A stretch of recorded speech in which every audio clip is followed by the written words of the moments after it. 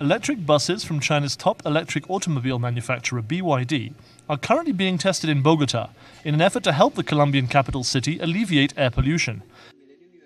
Meanwhile, Higer, the second largest carmaker in China, is also introducing its hybrid bus technology to the country to help mitigate the effects of climate change. Esa tecnología trabaja, se llama híbrido, lleva dos motores. Un motor diésel, pero en ese caso diésel solo trabaja como una planta de generación de electricidad. No hace tracción de del bus, sino el bus tiene otro motor eléctrico, es único motor que mueve el bus.